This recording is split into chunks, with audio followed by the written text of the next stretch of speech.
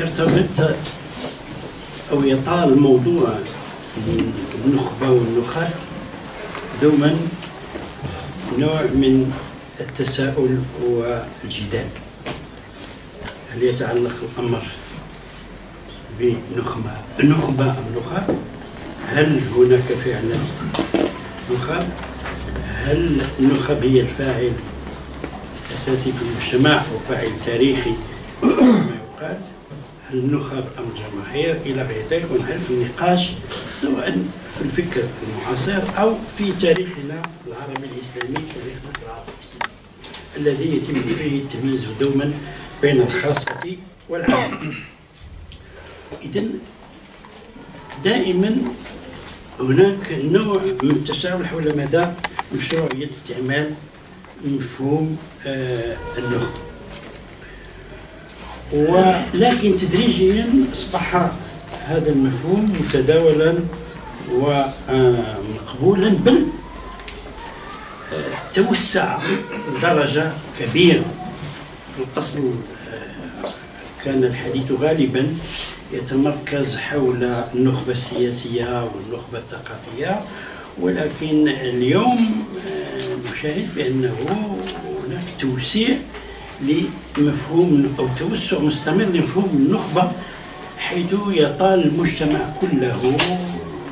حيث يتم الحديث عن نخبة عسكرية نخبة إدارية نخبة تكنوقراطية آه، نخبة رياضية إلى غير ذلك.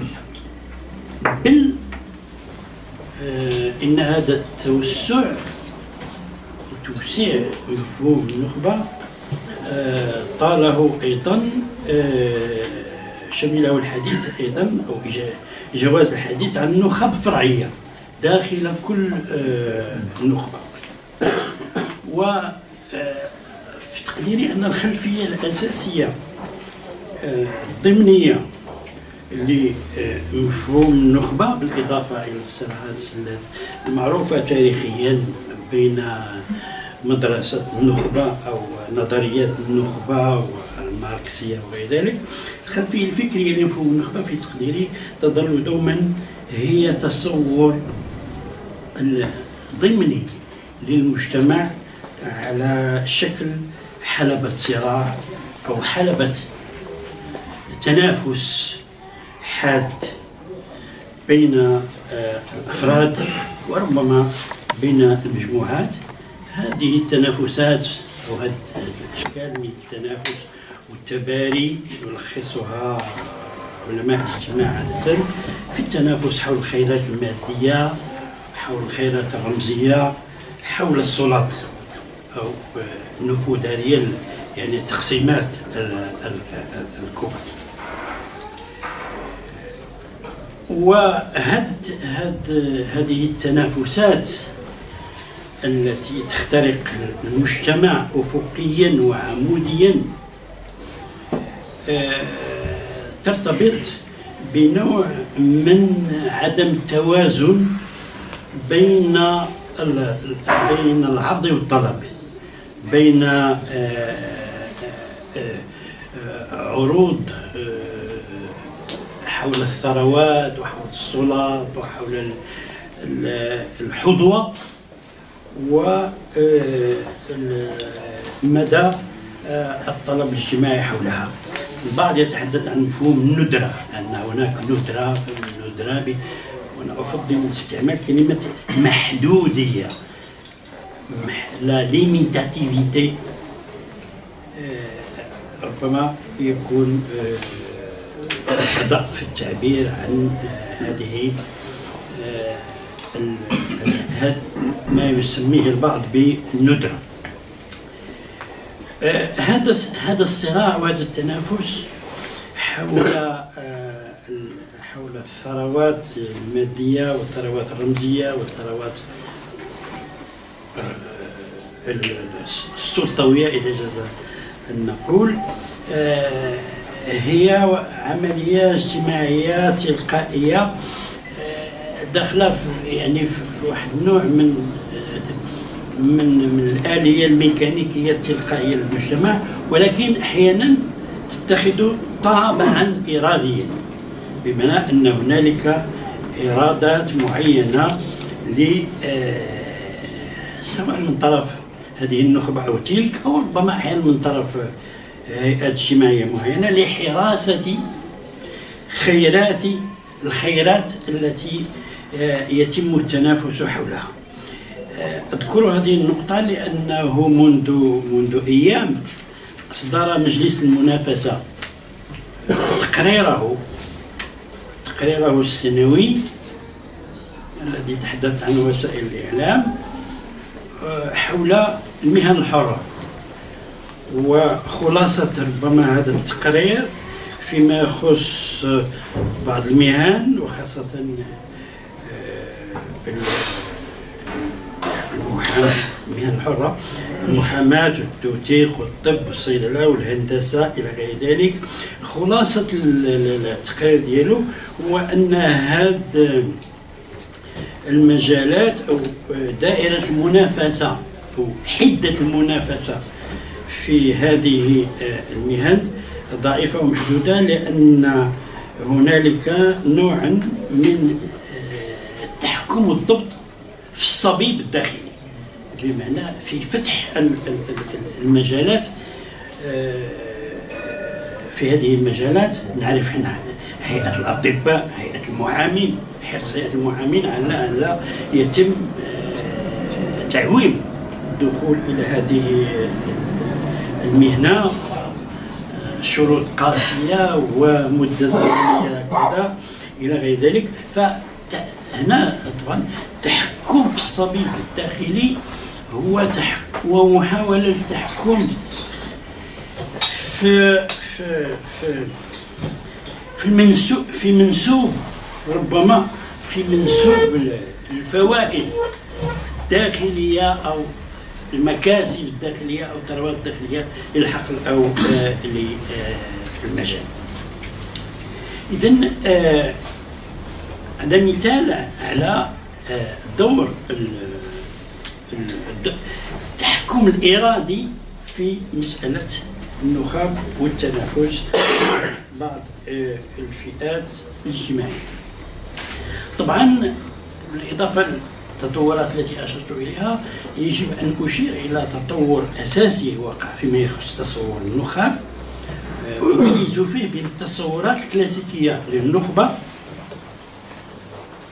وهي تصورات تركز على فعالية النخبة على تميزها على ربما على مظاهر النبوغ والمواهب وربما الكفاءات الفردية والكاريزمية ما يسمى بالكاريزمية.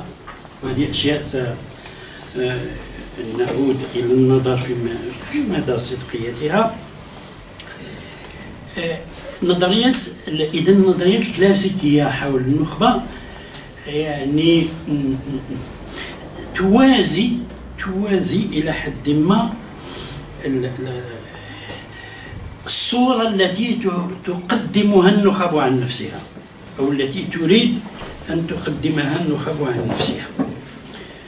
آه، وهي آه، صورة مليئة بالتمجيد الذاتي.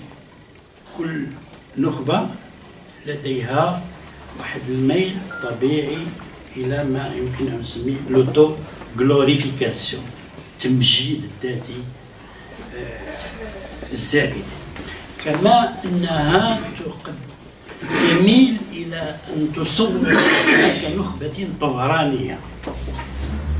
طهرانية آه، محملة بمعنى محملة برسالة تاريخية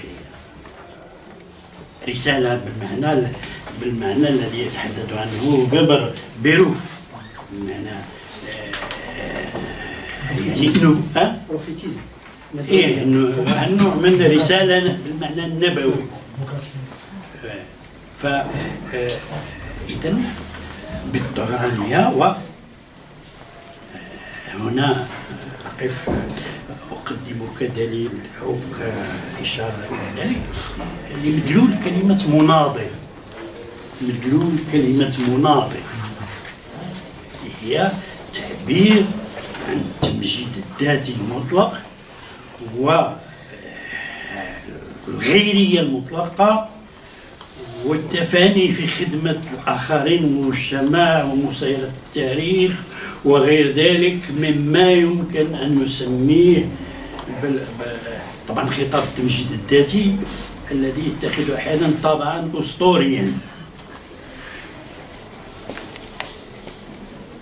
بالطهرانية بالرسولية والرسالة الرسالة كما كما أشرنا إصلاح تحديد التغيير النخب الدينية تتحدث عن حماية البيضة عن حماية الدين من كل ما هو دخيل وكل ما هو تحريف إلى غير ذلك. وهنا في قضية الرسالة والرسولية آه، أقف عند ملاحظة طريفة أشار إليها أحد الباحثين السيميولوجيين حيث تحدث عن آه، ما أسماه ملائكة بلا رسائل.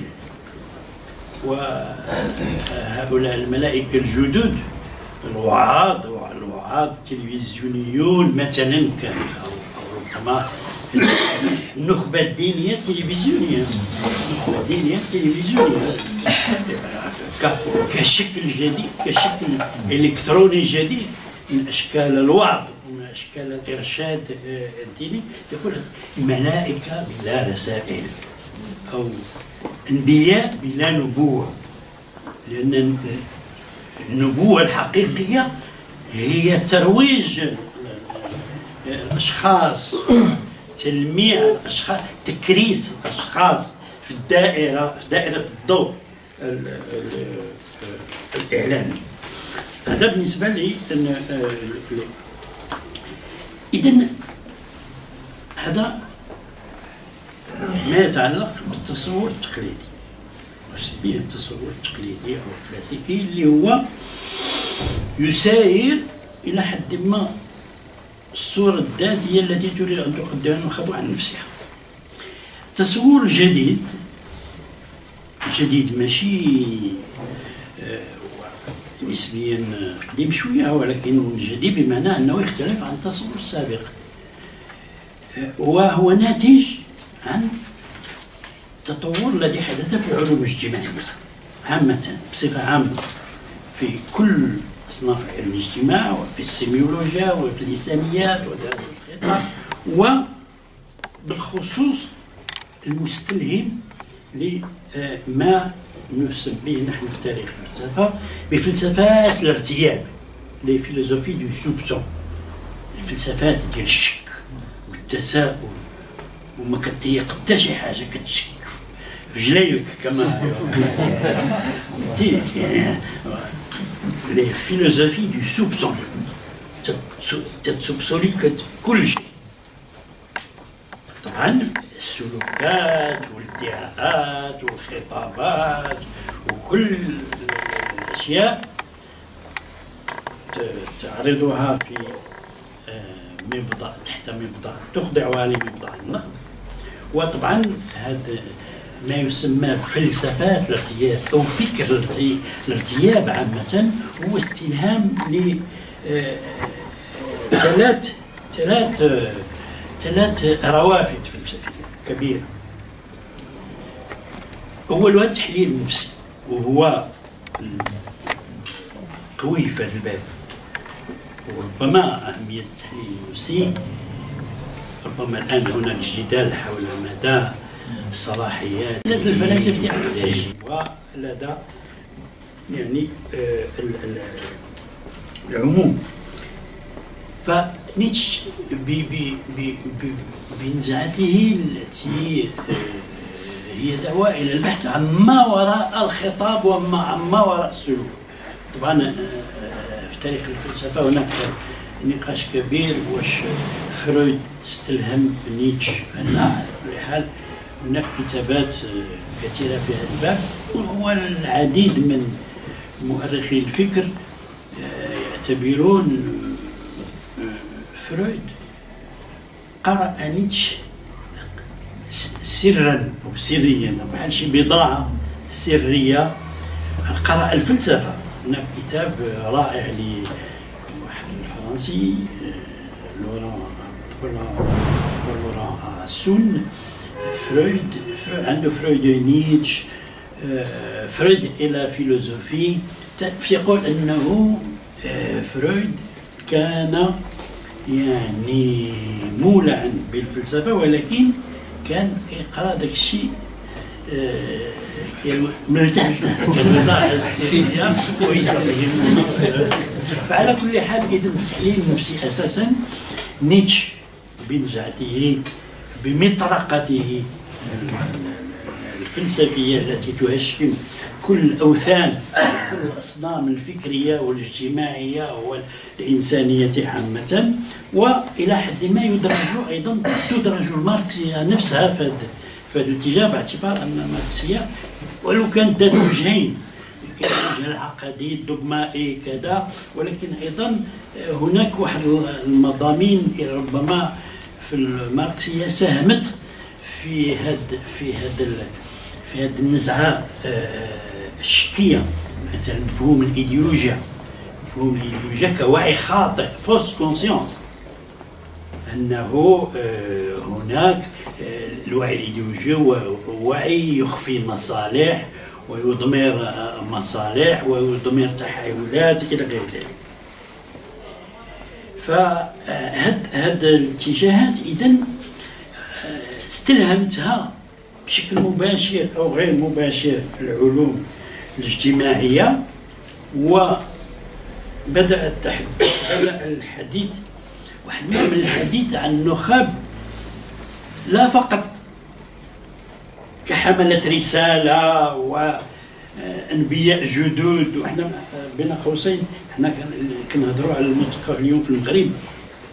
كنبي منتظر. لماذا غير المثقفين علاش غير المثقفين علاش ما مثقفين في الأحزاب؟ المهم هو خلف داك الشيء هذا التصور النبوي أو التنبؤي أو شي حاجة من اللي المثقف اذا هذا ما اسميته بالتقدم. في مجال العلوم الاجتماعية واستلهامها لبعض النزعات آه، الشكيه في الفلسفة. بدأ الحديث عن النخاب ماشي بالضبط كحملة رسالة وكملائكة بل ككائنات اجتماعية حتى هي عندها رغبات وحتى هي عندها حاجات وعندها طموحات وعندها تطلعات. عندها تمويهات وتضليلات وآليات آه، كذا وخطاب ماكر